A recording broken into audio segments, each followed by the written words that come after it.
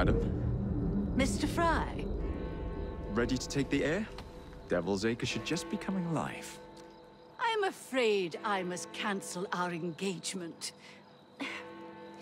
The lawn is crawling with scandal-hunting journalists, and I simply cannot be seen in the company of someone so... I'll see them off. You follow along when it's clear. Yes, yes. Uh, be gentle, won't you? The press are notoriously touchy about any violence to their person. Ha ha ha ha. I'll barely ruffle a hair on their heads. Shh, Desmond.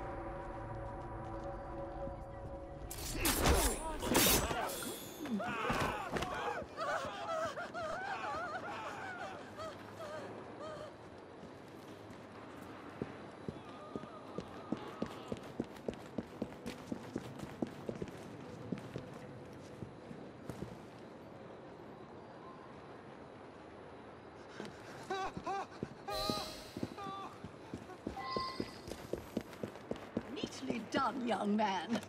Dizzy ought to keep you under the...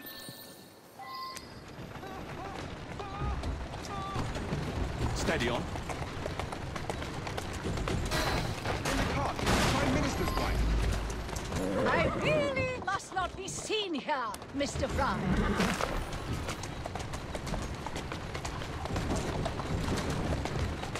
Doing fine, girl.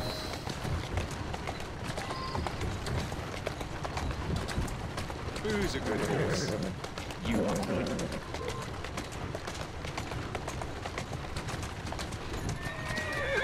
Steady on.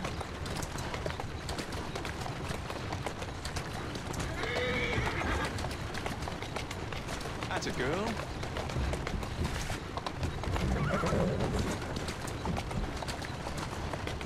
That's the way.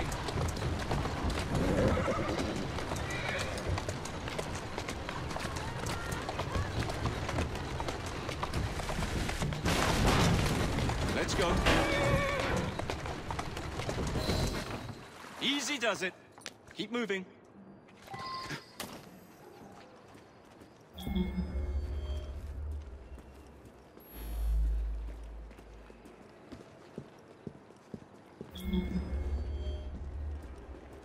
Oh, what a rough place. Give me your arm, Mr. Frye. Let us see what the Devil's Acre has to offer.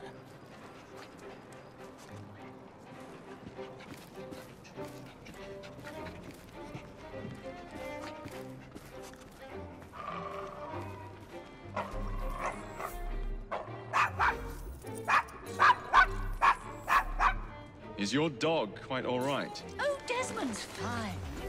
He's just not over fond of strangers. Or cats.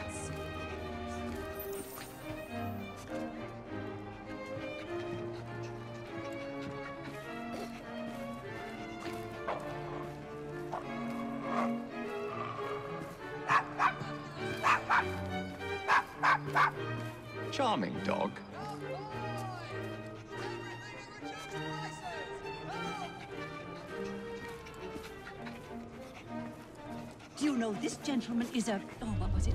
Yes, a costermonger, of all things. Remarkable how the working classes occupy themselves, isn't it? Very industrious, I'm sure. Shall we go?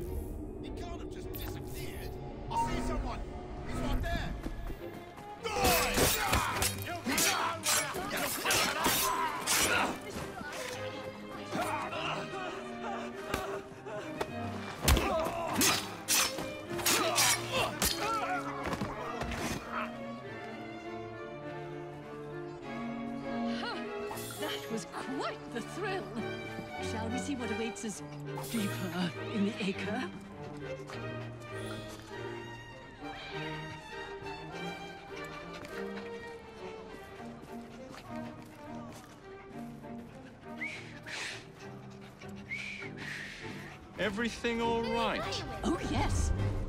I've just learned to whistle. Right.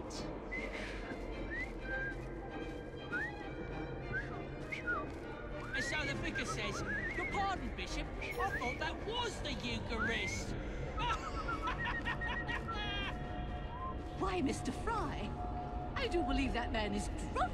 I I'm expect so you're right, sorry. I have no earthly idea what you're talking about. I'm going to ask what he's having. Oh, Mrs. Mr. Disraeli, Frye. perhaps you'd Look let me recommend two. something instead. Uh, yes, they, uh, they seem to be, um... I've been married twice, Mr. Frye. I'm fully aware of what they're doing. God bless them.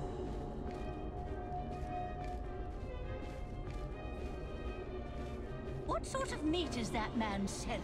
Best not to ask. Why? Is it something dreadful? is it rat? I don't mean to be indelicate, given the present company, but another name for it is Bow Wow Mutton. Here we are, the old one. So this is a pint, is it? Remarkable.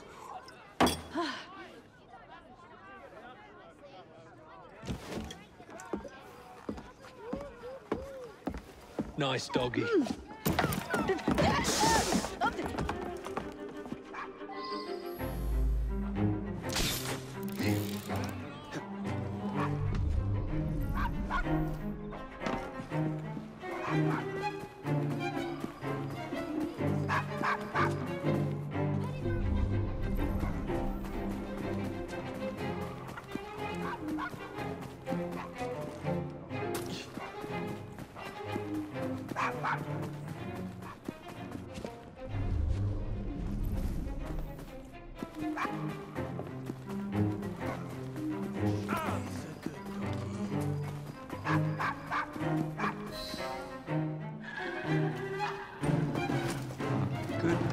boy, Desmond. Hand over the mutt. You'll change your tune when me and my friends find you. Now then, Desmond, to get you back to your mistress, whom I've just left entirely unattended in one of London's most dangerous pubs.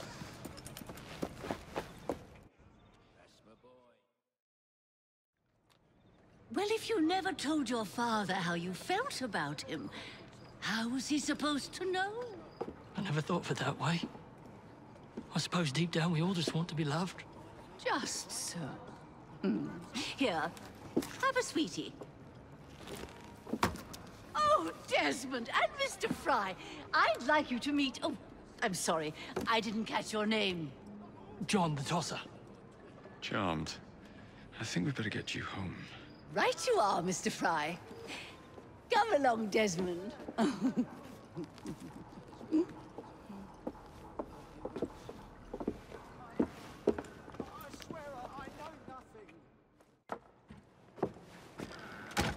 Well, well. If it isn't the dog walker. Now, let's not do something we'll regret.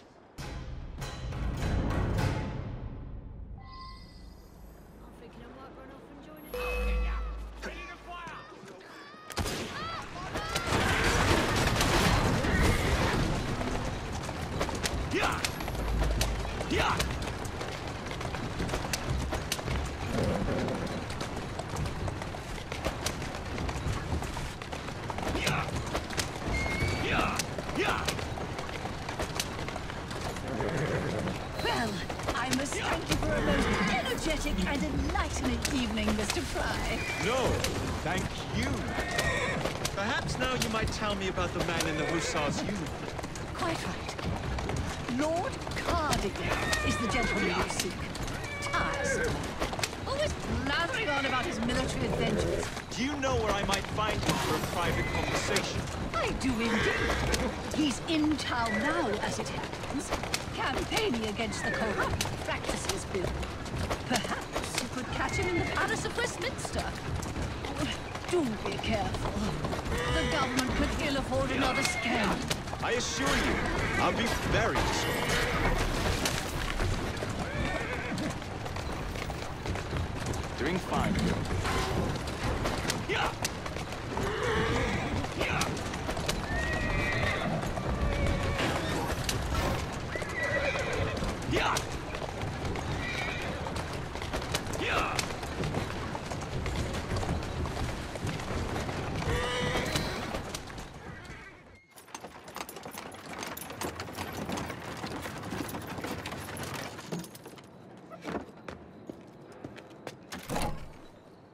Your stop, madam.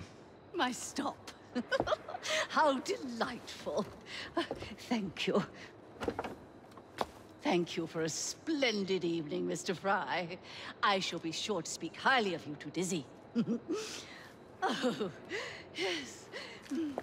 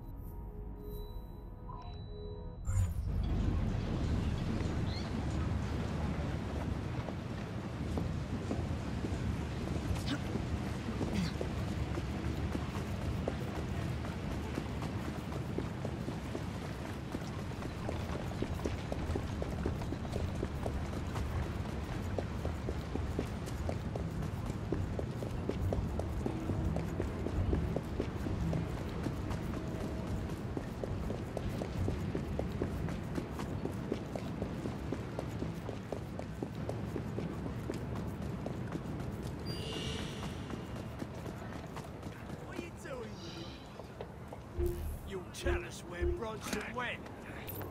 My God, thank you. My God, thank you. This restores some of my faith in humanity. God, thank you.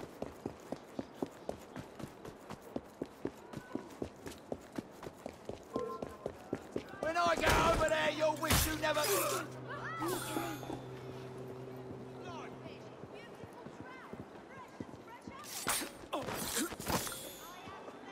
Murderer!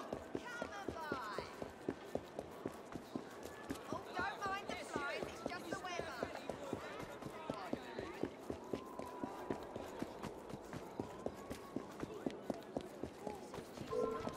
Great. You do not want to... That's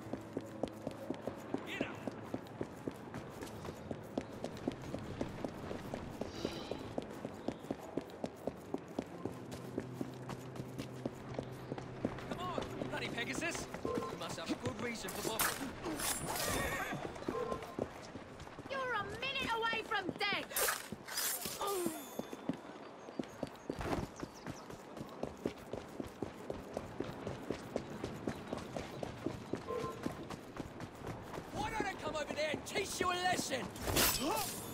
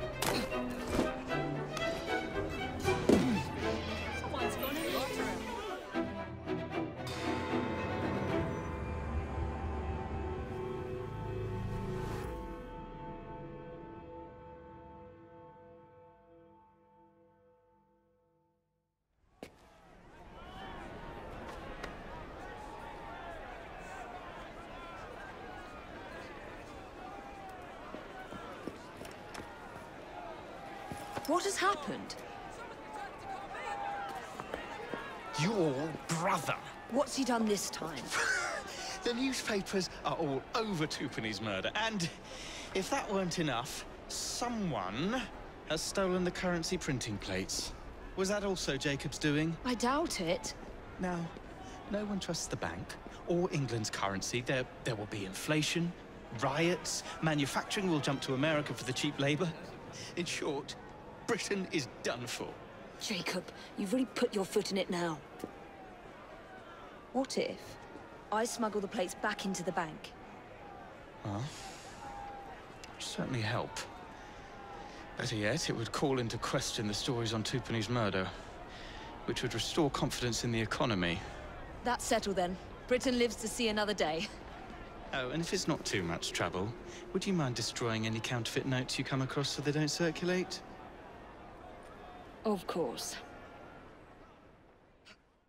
I earn in a week. I won't pay Really is very good of you to help. Exploitation! No more slavery! Follow me.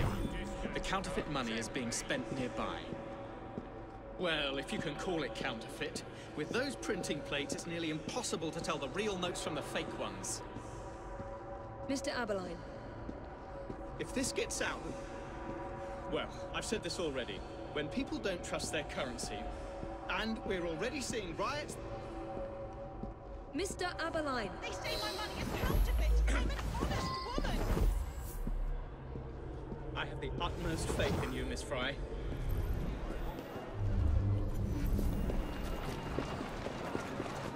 You two, follow me.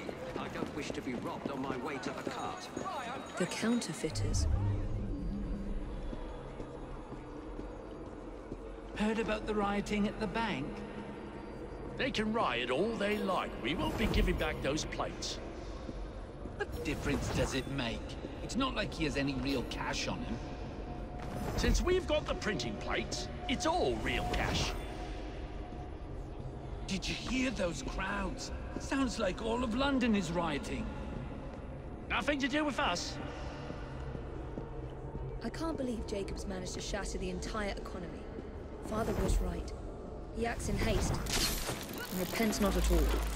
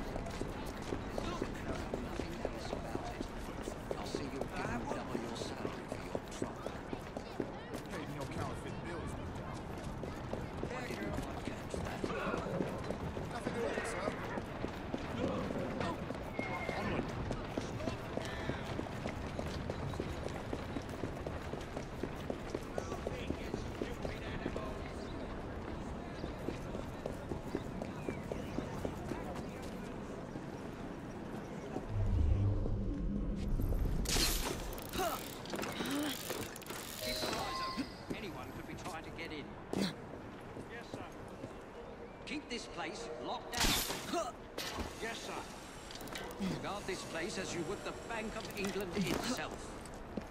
Absolutely, sir.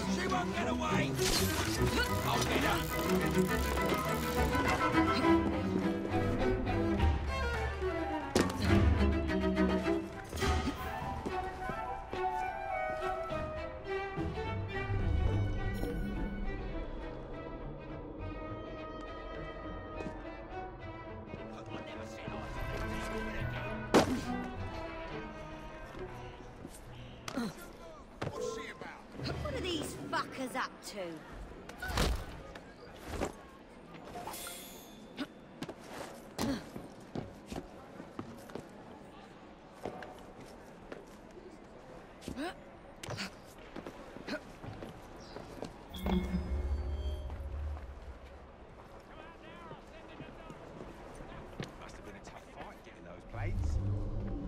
Not at all. We just walked right in on the chaos. Nobody stopped you?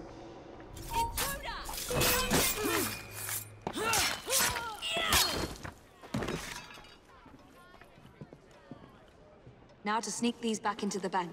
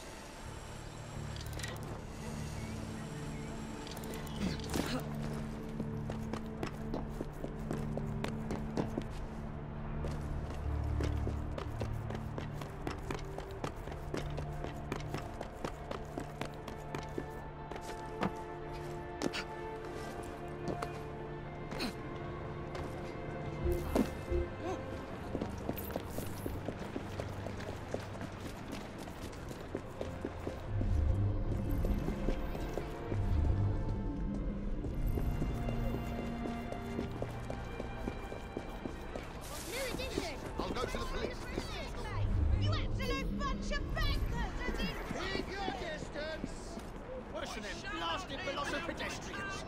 Nobody gets in without my saying so. the papers. This will be the ruin of us.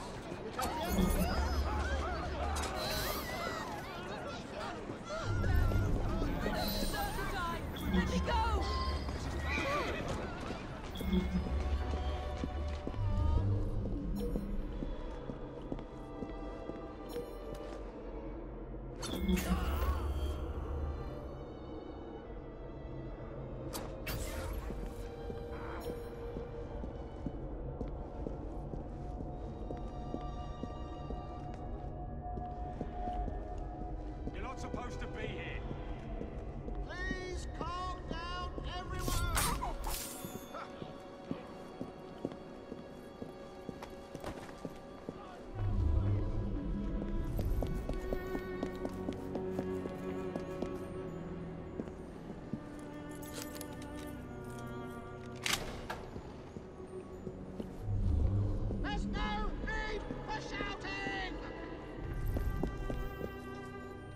There. As if they were never taken.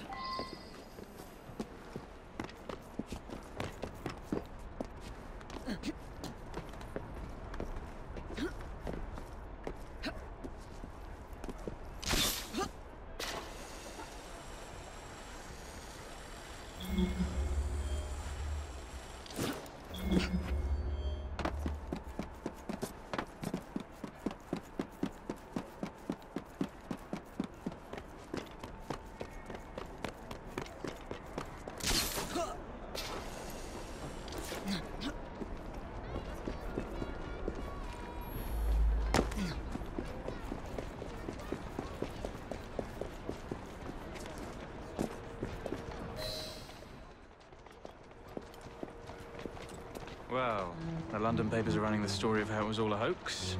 No more riots. Faith in the bank restored.